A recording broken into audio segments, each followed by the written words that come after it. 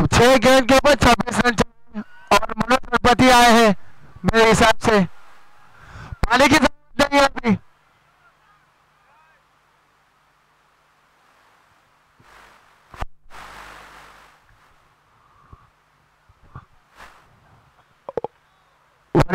वसीम भाई अपनी टीम को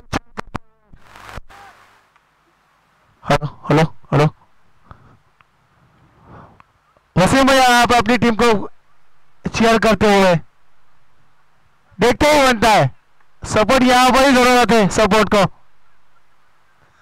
मनोज आए हैं लेफ़्ट राउंड विकेट से। और स्ट्राइक के ऊपर है ओपनिंग बैट्समैन स्मिथ पटेल छह गेंद में छब्बीस। डिसाइन गेंदबाजी। डिसाइन गेंदबाजी।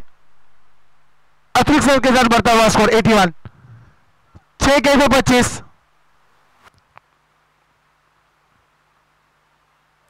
फिर से दिशाहीन गेंदबाजी, फिर से दिशाहीन गेंदबाजी। और यहाँ पर तीन डॉट गेंद फेंकनी होगी।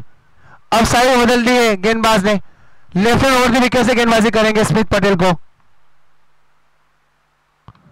लंबी हिट लगाई है गेंद जा रही DP speed wicket boundary line को बना चौड़ के लिए।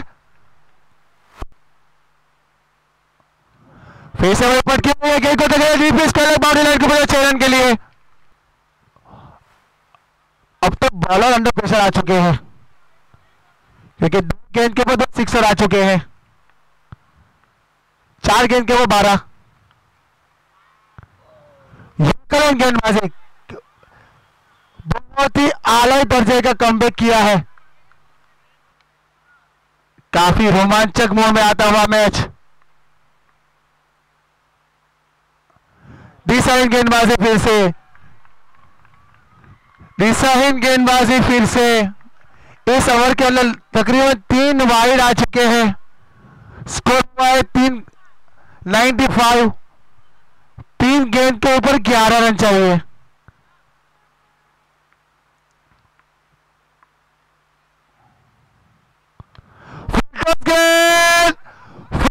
गेंद और गेंद को धकेल लिया लॉकआउट बाउंड्री रन के लिए।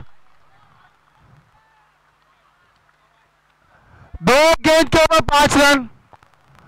दो गेंद के ऊपर पाँच रन।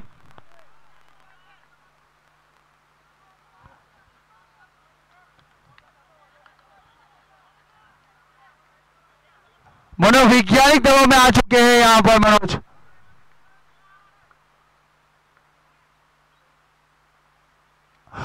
a